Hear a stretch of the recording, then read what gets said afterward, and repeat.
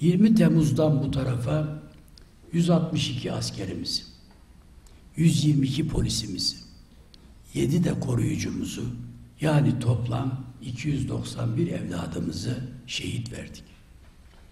1 Kasım'dan bugüne kadar 58 askerimizi, 42 polisimizi, 2 korucumuzu, kısacası 102 kahramanımızı şehit verdik. Bu yılın Ocak ayından şu ana kadar ise 31 asker, 23'ü polis, ikisi de korucu olmak üzere 56 kardeşimiz şehit düştü. Evvela şehitlerimize Allah'tan rahmet, ailelerine ve milletimize sabır ve başsağlığı diliyorum. Farkında mısınız? Türkiye yanıyor, yıkılıyor. Terörle mücadele kararlılıkla devam etsin diyoruz ama hala hükümetin kafasında soru işaretleri görüyoruz. Ne yazık ki düne kadar PKK'ya gösterilen yoğun sevgi ve sempatinin bedelini milletçe ödüyoruz.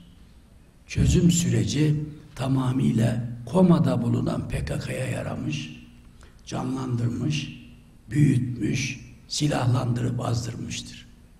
Bugünkü ortamda Sur ve Cizre başta olmak üzere şehirlere kadar terör inmiş, sokak savaşı çıkmışsa bunun gerisinde Oslo'da verilen sözler vardır.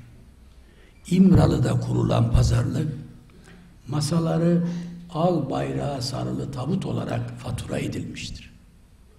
Dolmabahçe Sarayı'nda AKP PKK buluşmasıyla ilan edilen ihanet mutabakatının kanlı sonuçları Cizre'de, Sur'da görülmüştür. Erdoğan Dolmabahçe kepazelini doğru bulmuyor, kabul etmiyor. Hatta yaftalıyordu. AKP'li bakanlarla PKK temsilcilerinin İmralı carisinin 10 maddelik ihanet metnini kamuoyuna duyurmasına Erdoğan işler sarpa sarınca tepki gösteriyor, sert çıkıyordu. Erdoğan haberim yok diyordu. Ancak Sayın Bülent Arınç geçtiğimiz günlerde Erdoğan'ın haberi var diyerek bir kez daha malumun ilanını yapmıştır.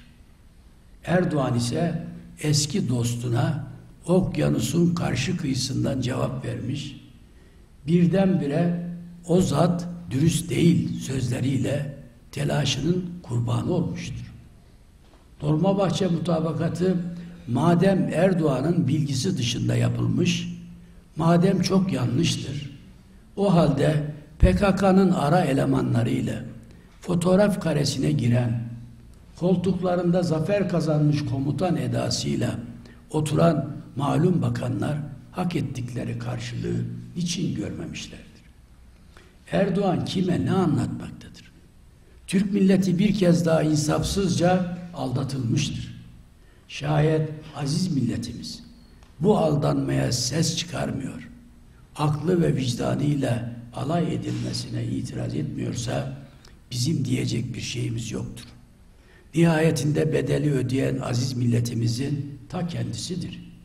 Yalan taltif edilip övülüyorsa, yalancılar el üstünde tutulup baş tacı yapılıyorsa, ihanete ortak olanlar görmezden geliniyorsa, çok büyük bir sorunumuz var demektir.